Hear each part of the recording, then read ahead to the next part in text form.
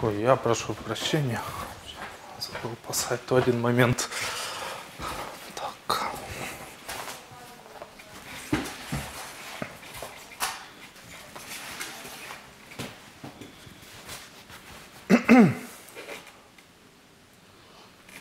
Можем ждать сейчас?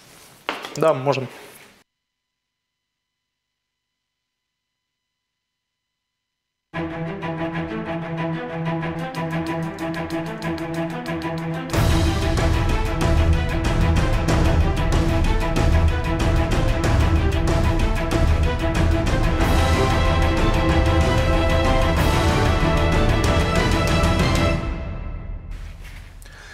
З вами Шах і Мат. Мене звати Андрій Нікітін. Сьогодні ми підбиваємо політичні підсумки 2020 року і спробуємо дати прогнози на 2021 рік. З нами в гостях політичний експерт Юрій Райхель.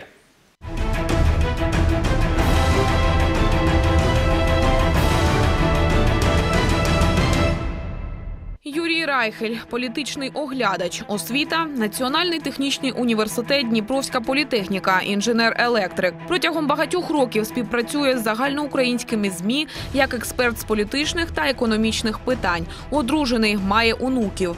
Хобі література.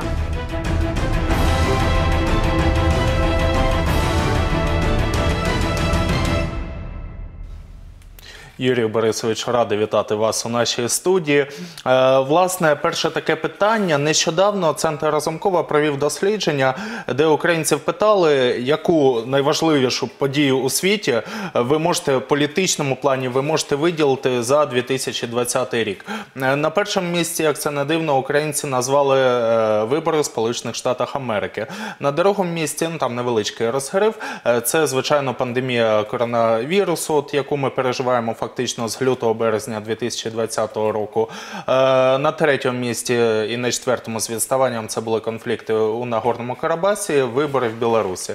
Е, Чи погоджуєтесь ви з такою оцінкою українців тих процесів, які відбувалися у 2020 році? Да, если ну, эпидемия э, или пандемия коронавируса, она вообще имеет не только политическое и социальное, я уже о медицинской не говорю, составляющей, и в этом смысле она будет иметь настолько долгосрочные последствия, которые мы даже сейчас в полной мере оценить не можем. Поэтому э, с этим можно полностью согласиться. Ну а то, что выборы в Соединенных Штатах, да, это действительно так.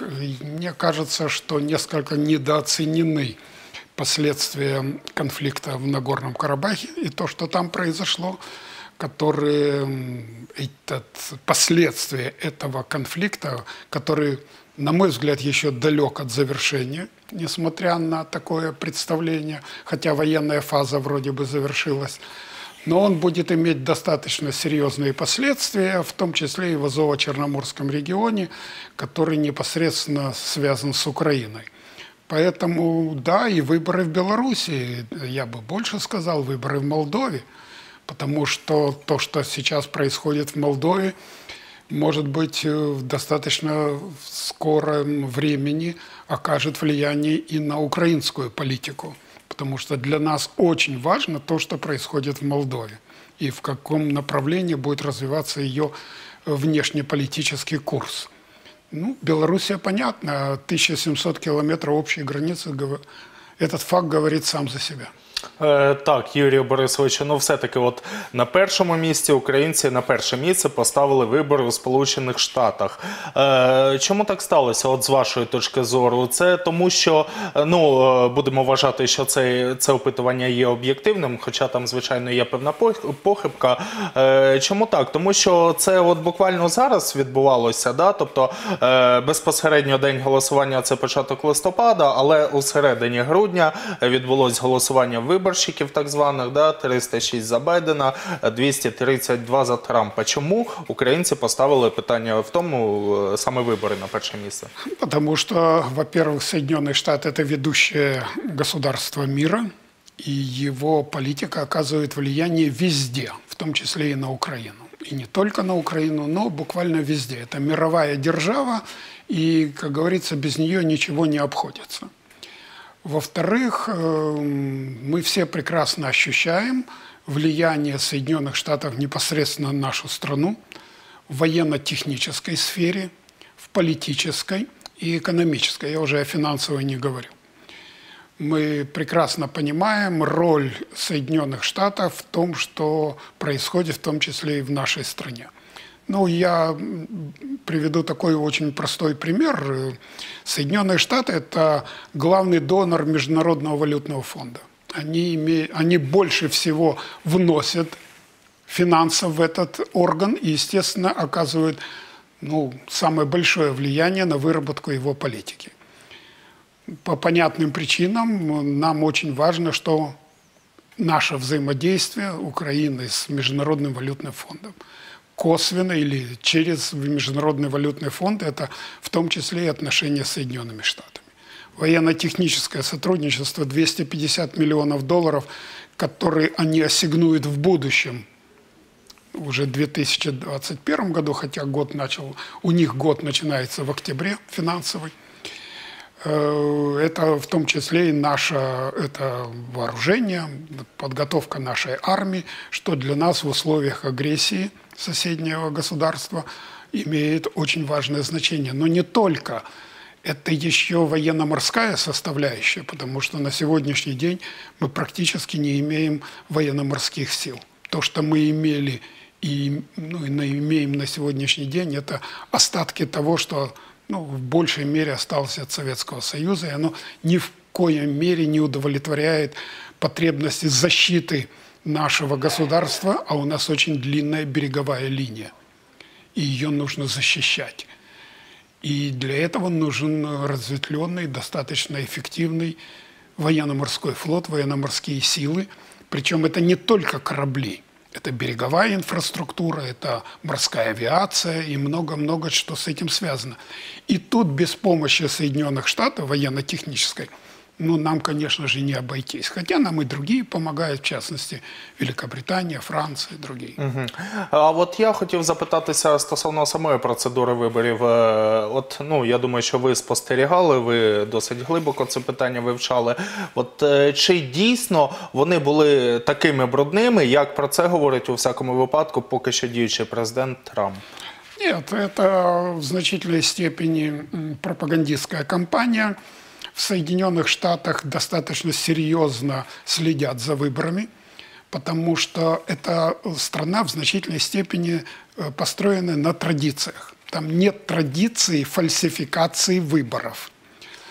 Во-вторых, в Соединенных Штатах нет э, вертикальной структуры – Э, избирательного процесса. Вот у нас есть там Центральная избирательная комиссия, она создает в регионах свои там подразделения и так далее. То есть ДВК, это, территориальные да, комиссии. Да, это вертикальная угу. такая система. Ні, ну, в принципі, США це федерація, ми унітарна країна, тому певна логіка в цьому також є. Да, но это же, же совершенно другая избирательная система. Более того, она э, иногда очень сильно отличается от штата к штату потому что в разные, эти штаты создавались в разное время, и в разное время там была ну, создана вот эта избирательная система. Поэтому там в полной мере это все относится к компетенции штатов, и там очень серьезная система наблюдения за этими выборами.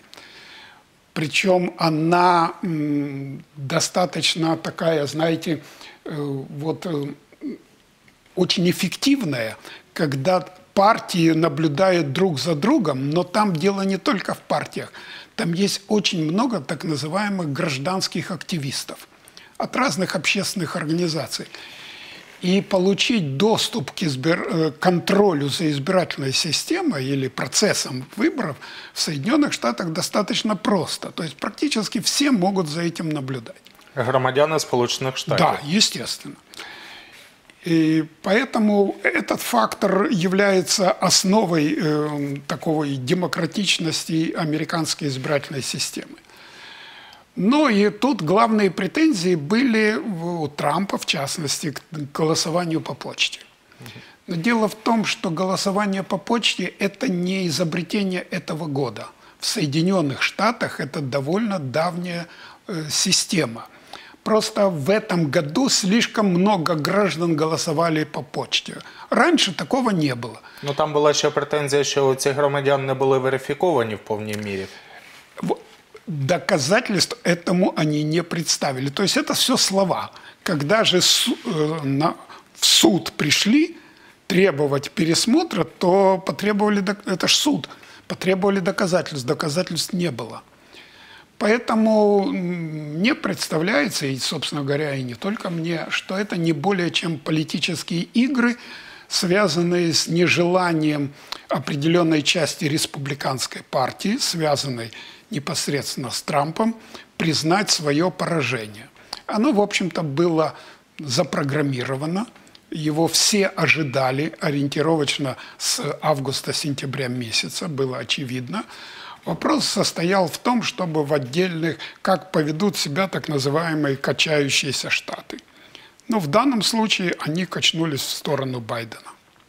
Е, Так, от до речі, ну формально залишилось тільки дві процедури до вступу. Да? Це підтвердження того голосування, яке відбулося в колегії виборщиків, да? підтвердження конгресом і власне інавгурація, да? е, яка відбудеться 20 січня. Е, Що означає в глобальному сенсі перемога тандему Байден-Харріс е, для світу, ну і для України, зокрема? Будут, будет изменена э, основа американской внешней политики. Если для Трампа была, у Трампа была попытка вернуться к изоляционизму, американскому изоляционизму, причем такая довольно сумбурная и не очень понятная, Потому что если говорить об американском изоляционизме там, 20-30-х годов прошлого века, то там понятны причины этого и географические, и экономические, и политические. Ну, и так результати далее. Першої світової війни. Да, в том числе и, ну, там до- достаточно много причин этого э, явления.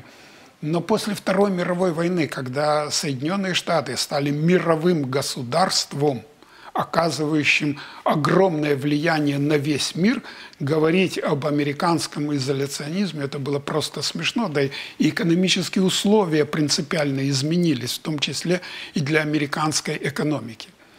Поэтому это была такая м, не- риторика, но не подкрепленная ни идеологически, ни экономически. Но тем не менее наделали, как говорится, наломали много дров. И теперь стоит задача восстановить единство Запада, в первую очередь отношения Соединенных Штатов и Европы, Европейского Союза, выработать э, достаточно внятную политику в отношении Китая, потому что у Трампа она была очень импульсивная и, не, и непоследовательная. Очень серьезно э, требуется изменить, или э, не то чтобы изменить, но как-то упорядочить подходы к Ближнему Востоку, Персидскому заливу и, самое главное, Иран. Так, Юрій Борисович, на завершення цього блоку, чи можливе повернення республіканців за яких умов до Білого Дому? В 2024 году у них есть все І особисто Трампа, до речі, він вже про свої перспективи у 2024-му заявив. Ну, заявлять можно все, что угодно. Америка свободная страна.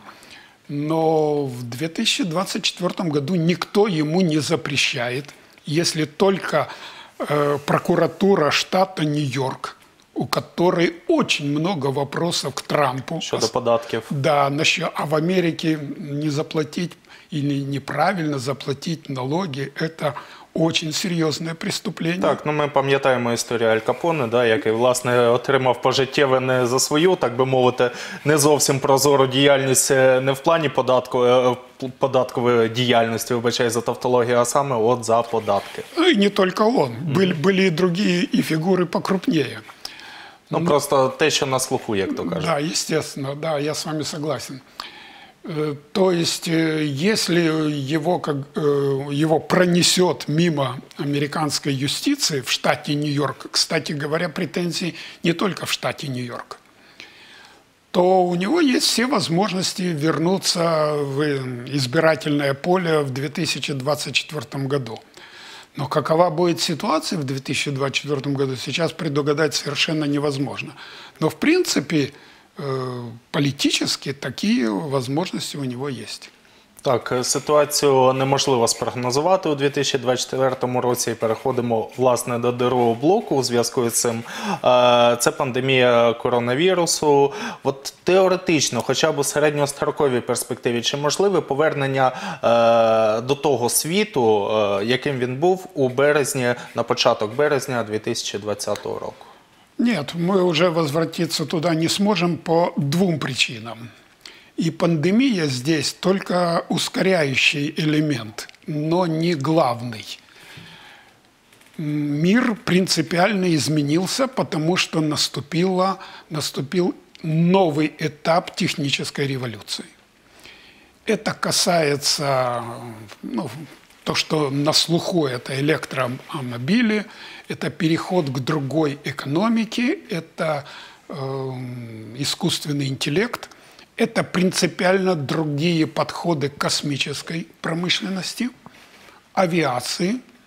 И поэтому м, здесь э, мы находимся на первой ступени будущего мира, который мы даже сейчас в полной мере не представляем из-за революции э, в компьютерной технике и в средствах связи. Вот сейчас мы стоим на пороге принципиально других компьютеров, которые уже решают задачи, которые невозможно решить на тех компьютерах, которые у нас есть. В том числе и в разработке вакцин. Ведь то, что сейчас так быстро в течение ну, буквально нескольких месяцев разработали довольно сложную вакцину против коронавируса, это не только медицина и не только биология. Это принципиально другая компьютерная техника, которая позволила решить эту задачу. Она позволила решить не только задачу одной конкретной вакцины, а разработать целый спектр вакцин, которые отличаются друг от друга, но по эм, воздействию своему они дают примерно один и тот же результат. Вот та же вакцина фирмы Pfizer, российская вакцина, вакцина Модерна, американская, другая вакцина уже утвержденная, и Оксфордская вакцина в Великобритании, где там начали ею уже прививать людей. Это немецкая вакцина, но я уже про китайскую не говорю, то само собой. Это все разные вакцины, но и это результат той компьютерной техники, которую теперь получили ученые. Так, а от стосовно вакцинації, до речі, чи можливо вона вже почалась фактично? Ем, Невідомо, коли ця вакцина дойде до України. Будемо, будемо е, сподіватися, що найближчим часом. Е, Чи можливе відкриття все ж таки кордонів і хоча б е, таке, ем, е, с- хоча б спроба повернутися до такої глобальної економіки, до глобального пересування е, людей між країнами? Да, скорее всего, это наступит. Эм, Значит, э, если переболеет 70, про- либо переболеет 70% населения, как было с эпи- пандемией испанки в ну, там, Початок 20-го да, столетия. начале 20-го столетия, тогда э, пандемия в 1922 году затихла, условно говоря, когда переболело 350 миллионов человек тогдашнего населения. Тогдашнее население составляло где-то около 3 миллиардов человек на всем земном шаре. Это один вариант. Два з половиною рази менше ніж Да, зараз. это один вариант. И второй вариант, когда начнется массовая э, вакцинация. Если массовая вакцинация завершится в первой половине э, будущего года, то можно ожидать, что во второй половине начнется глобальный спад эпидемии. Е, Так, е, до іншого питання, власне, е, яке, яке, якого ми торкнулись на самому початку, говорячи про опитування, Е, це конфлікт у Нагорному Карабасі. Ви сказали, що не можна е, цю проблему вважати вичерпною. Чом- Вичерпаною. Чому? Ну, во-первых, э, все стороны не достигли целей, которые между, э, у них стояли. Азербайджан не восстановил полностью контроль над своей территорией В международно признанных границах. Часть его территории осталась ну, буквально там под армянским контролем, контролем миротворческих сил России. это для Баку это ну, не то что поражение, но не полная победа, я бы так назвал. Армения потерпела очень серьезное поражение, очень серьезное поражение. Оно принципиально изменило представление э, мирового э, армянства, то есть людей, которые живут в Армении, армянской диаспоры, она по всему Вона більше, ніж власне жителя в Вірменії. вот. Так. И она по всему миру разбросана, и причем очень, в некоторых странах, там во Франции, она очень влиятельна. В Ливане, например, Та й в нашому місті. да, в том числе. И э, то есть этот конфликт не урегулирован в полной мере, потому что опять начинаются разговоры о статусе Нагорного Карабаха. Баку это категорически не приемлет, и здесь сталкиваются интересы слишком многих игроков. Турции, России и европейских стран, в первую очередь Франции. А не э, Франция, Греция, ну и так далее. Поэтому этот конфликт, может быть, он в военную фазу э, в ближайшее время не перейдет, но в дипломатической сфере он будет достаточно серьезным. Но для нас он важен, в, я бы так сказал, в чисто экономическом, например, плане, потому что э, Азербайджан ассигновал очень большие деньги на реинтеграцию, восстановление тех районов Нагорного Карабаха, которые теперь под его контролем. А Это довольно значительная по тем масштабам территория. Она полностью разрушена. Там все разрушено ни инфраструктуры, э, названия только географические на карте. На самом деле там люди не живут. То есть это все надо строить, заново прокладывать дороги, ну инфраструктуру. Это большие деньги. Украинские фирмы могут в этом поучаствовать и получить достаточно большую прибыль. Е, До речі, якщо говорити загалом, загалом про весь світ, е, можливо, більш конкретно про Європу, е, то чи існує загроза у найближчий час міжнаціональних, міжрелігійних конфліктів, і які це регіони, можливо, якщо ми так побіжно згадували Молдову, чи можливо така ситуація у Придністров'ї? Ну, военной фазы в Приднестровье, очевидно, не будет, потому что у Молдовы, во-первых, нет сил для этого, она и, и ресурсов для того, чтобы переходить к военному решению этого вопроса. Да, собственно говоря, в этом и нет особой необходимости. Но то, что в Приднестровье станет точкой напряженности в, на юго-западном, юго-восточном направлении, это э, реальный факт, потому что Молдова в, союзе с э, там, Румынией, в какой-то степени Евросоюза, будет выдавливать российский контингент, который, кстати говоря, там находится без соответствующих договорных условий, э, из э, м, Приднестровья. И здесь очень много зависит от позиции Украины. Если Украина реально станет, как говорится, плечом к плечу с Молдовой, так как Турция стала с Азербайджаном, Був навіть спільний військовий парад, да, ну, то уже, как говорится, со- совсем але картинка така Да. наявна була. Это, это больше для Москвы был парад, ну и для с- собственного населения. А вот то, что Киев может с- внести очень большой вклад в реализацию м, выдавливания, вывода российского контингента из Молдовы и значительной помощи Молдове в реинтеграции Приднестровья – для нас это важно. Во-первых, это безопасность наших границ. Вот Близко Одесса, Винница, да и до Киева не так далеко. Во-вторых, э, эм, урегулирование приднестровского конфликта в той или иной степени обязательно непосредственным образом скажется на урегулировании в Донбассе.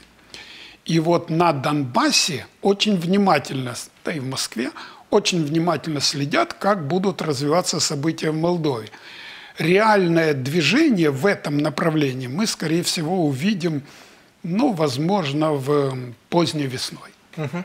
А чи можливі у найближчій перспективі або у середньостроковій такі глобальні якісь конфліктні ситуації? В Европе маловероятно, практически нет таких. То есть трения существуют там, допустим, между Венгрией и Словакией. э, там в Польше проблемы. То есть проблемы существуют всегда и везде. И мир, собственно, движется, э, решая эти проблемы. Есть определенные проблемы сепаратизма, потому что в- Брексит э, усилил тенденцию к отделению Шотландии от э, Великобританії, от Англії. Ну, ми пам'ятаємо також е, ситуацію в Каталонії, яка є частиною Да, Іспанії. вот. И, Ну, есть, есть и на севере Италии есть проблемы. Но эти проблемы м, не носят такого, я бы сказал, глобального характера. Более того, в Европе достаточно э, разработано механизмов э, смягчения и гашения этих проблем. Вот сейчас про каталонские проблемы мы же практически ничего не слышим э, ну и так далее. То есть то, что происходит между Словакией и Венгрией, там споры достаточно, они, в общем-то, для нас, мы о них практически не вспоминаем. Мы больше занимаемся проблемами наших отношений с Венгрией. Там в у Румынии есть, вот болгары, например, Болгария блокирует э, движение Македонии в Европейский Союз. То есть такие проблемы существуют везде, а у Балкан это вообще взрывоопасный регион, начиная в течение всего э, 20 века, и сейчас это есть, есть там, хотя э, конфликты значительно ослабели.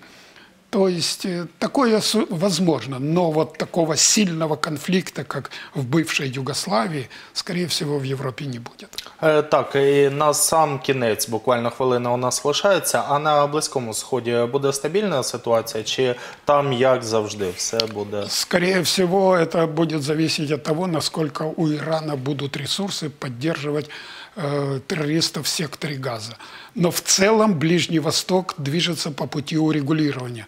И по мере того, как будут восстанавливаться отношения Израиля с ведущими арабскими странами, конфликт будет постепенно затухать. Е, Так, е, Ізраїль, Палестина. Это, опять же, все зависит от Тегерана. Если Тегеран не будет оказывать, как и в Сирии, оказывать реальную финансовую и военную помощь этим террористам, то ситуация будет потихоньку смягчаться, и за 10 лет, э, видимо, конфликт будет урегулирован. Так, я вам дякую за цю розмову. Нагадаю, сьогодні ми спілкувалися з політичним оглядачем Юрієм Райхелем. На все добре.